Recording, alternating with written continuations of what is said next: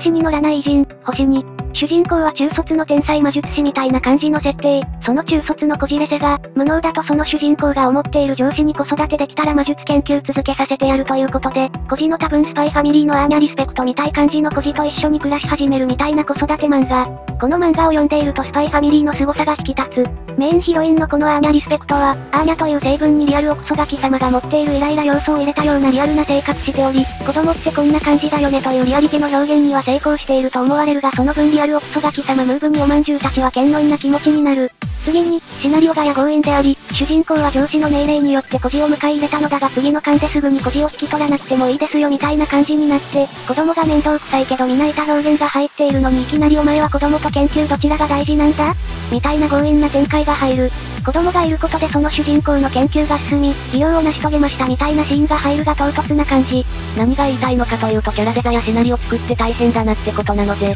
ためになった、面白かったと思ってくださったらチャンネル登録よろしくお願いします。